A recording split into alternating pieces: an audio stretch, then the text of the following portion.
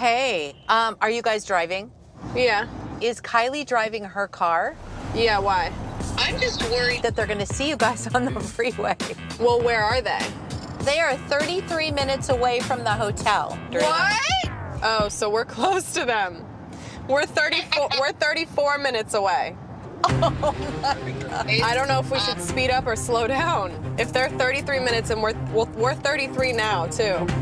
My mom would be so if Kylie and I were the ones to ruin the surprise. I'd be upset too. We're trying to figure this out. We're a little freaked out.